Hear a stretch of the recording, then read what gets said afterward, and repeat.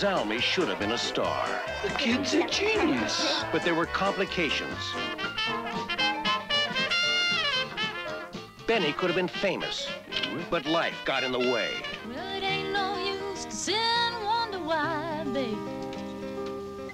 Tony had a brush with success, You the one who writes the songs? Don't you know I'm nothing without you? but had to let it go.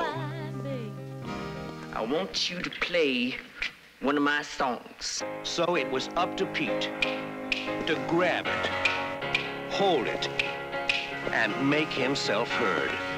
Working on a night move, trying to make some